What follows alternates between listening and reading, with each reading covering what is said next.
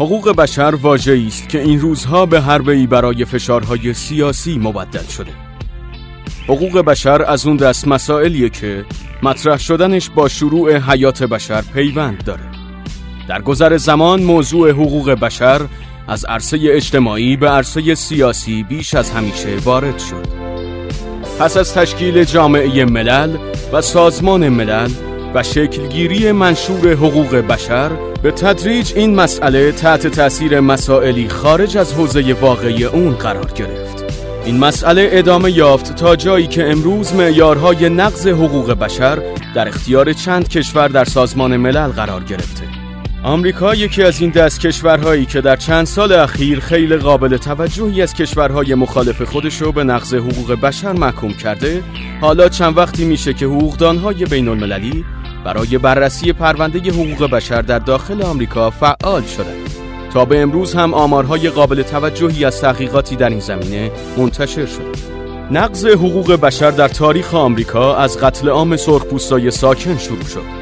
اندرو جکسون هفتمین رئیس جمهور آمریکا بود که در کشتار بیرحمانی سرخپوست ها نقش مهمی داشت. به گفته دیوید ستانارد تاریخنگار آمریکایی جکسون در سالگرد کشتار قوم سند کریک سرخپوست دستور داد تا گوش و بینی جسد 800 سرخپوست رو ببرند. همچنین لویر لوبلیت از بازماندگان کشتار ووندد نی از کشتار بیرحمانه قومش در این واقعه میگه.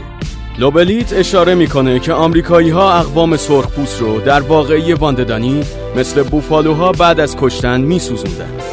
همینطور در کتاب دلم را به خاک بسپار نوشته دی براون نویسنده معروف آمریکایی هم مستندات زیادی از نقض گسترده حقوق بشر درباره سرخپوست ها وجود داره.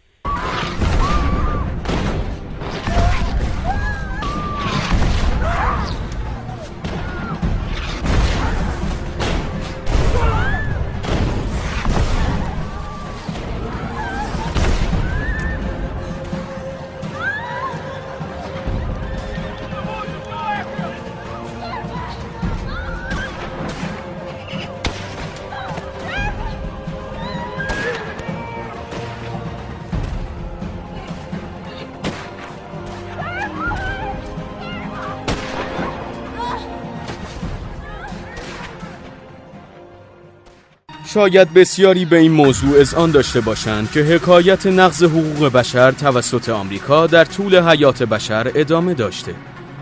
در جنگ افغانستان که به بهانه مبارزه با تروریسم صورت گرفت، ده هزار غیر نظامی کشته شدند. عکس هایی که از حجوم سربازان آمریکایی به خانه افغان ها منتشر شد، خیلی سریع افکار عمومی جهان رو تحت تأثیر قرار داد. از طرف دیگه دنیا هنوز مرگ 500 هزار کودک عراقی در اثر تحریم های آمریکا قبل از حمله به عراق رو به یاد داره. اما نقض حقوق بشر در آمریکا تنها به گذشته تیره آنگلو ساکسون ها منحصر نشده. این روزها هم آمارهای بسیار جدی از نقض حقوق بشر در این کشور منتشر میشه. بر اساس گزارش شیکاگو تریبون در 28 جوان 2008 شهر شیکاگو در عرض دو هفته شاهد ده مورد شلیک پلیس به شهروندان بوده. همچنین طبق تحقیق مرکز کودکان، قانون و سیاست دانشگاه هستون هر روز در آمریکا هشت کودک با سلاح کشته میشن. از طرفی هر ساله سه هزار نوجوان در آمریکا به ضرب گلوله از بین میرن.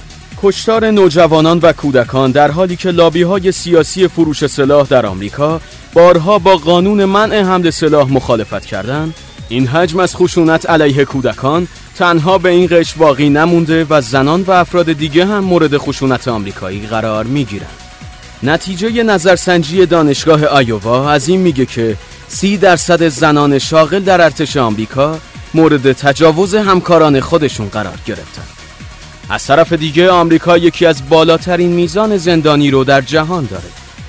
طوری که طبق گزارش وزارت دادگستری ایالات کتده در سال 2011 تعداد زندانیان این کشور به 3 میلیون نفر رسیده.